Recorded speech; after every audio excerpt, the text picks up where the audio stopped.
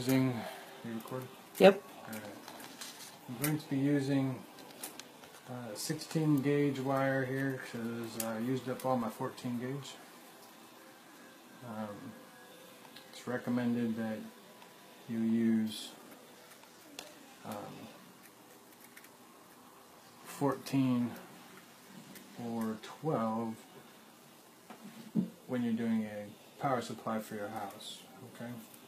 So that was recommended by the Keshe Foundation. I don't know any different at this point.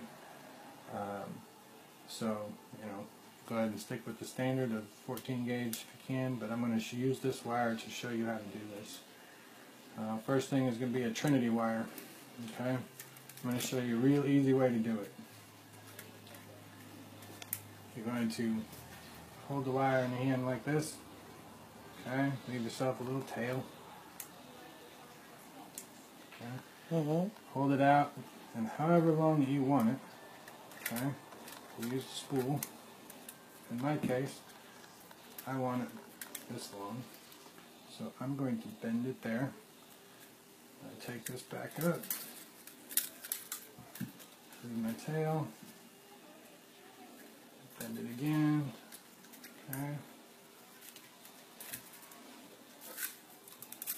and come out this way. I always put my spool on my left side. I'm right-handed, so I gotta switch sides. But plasma always starts on the left and moves to the right. So that's where I keep my spool, is on my left side, because that's my source of energy, my source of wire right now. Okay? So when that happens, I cut it a little bit longer. Okay. Oh. I bend this end over. This is my source end. In case I get interrupted, this is my mark. Okay. This tells me that's my source. That's what needs to be in my left hand. Okay. Bend this over.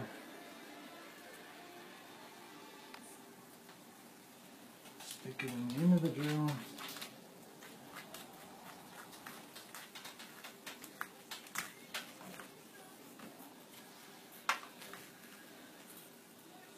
Move this extra one out of the way.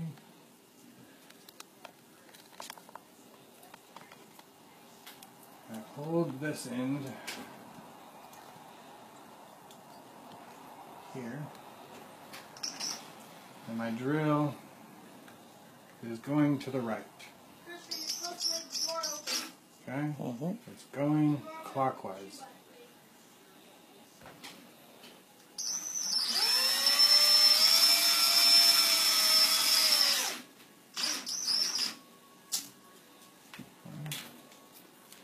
Real simple.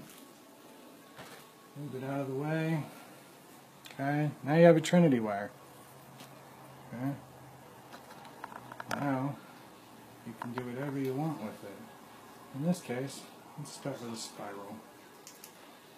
Okay. Let's make it nice.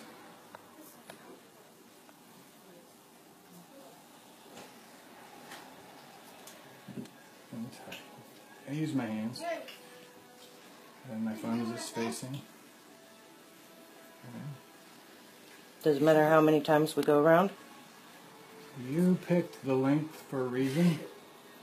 You don't have to know that reason. Okay? I didn't measure this, I just made it. You saw it?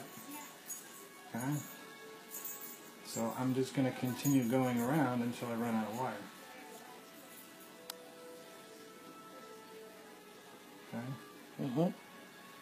So when that happens, then I figure out what I've got.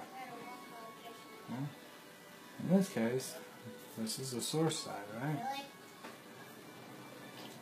Hey, you're gonna be very.